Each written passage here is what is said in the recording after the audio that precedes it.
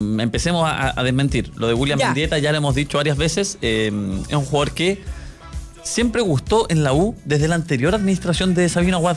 Cuando el jugador estaba en Paraguay, hizo una gran Copa Libertadores, se lo termina llevando el Palmeiras, ¿ya?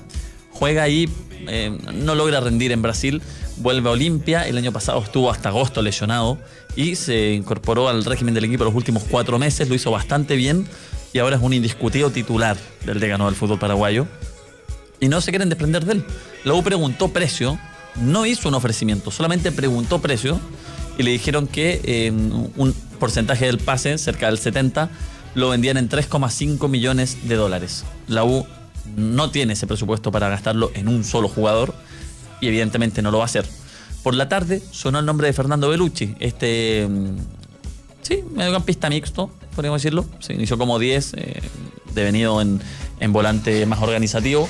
Actualmente en San Lorenzo, 35 años, en la U pregunta por él, eh, quizás pensando que por su edad finalizaba contrato pronto, o quedaba libre, o quizás tenía la intención de eh, mirar otros mercados. Bueno, está en buen nivel, también lo quiere Independiente, y el monto para llevarse a este jugador es de 4 millones de dólares. Insistimos, la Universidad de Chile no tiene ese dinero para gastar en jugadores. Y lo otro, porque ya en, Twitter pareciera que está casi listo Tabaré Viudés, este puntero de un puntero o volante por, por fuera de Nacional de Uruguay, jugó contra la U el 2011 en la Copa Sudamericana que ganara el equipo que por ese entonces dirigía Jorge Sampaoli pero eh, por más de que tuvo experiencias en el extranjero, nunca pudo demostrar lo que, lo que hizo Nacional. Tiene tres o cuatro retornos al equipo uruguayo y realmente es de los jugadores donde Nacional es eh, su lugar en el mundo, por así decirlo.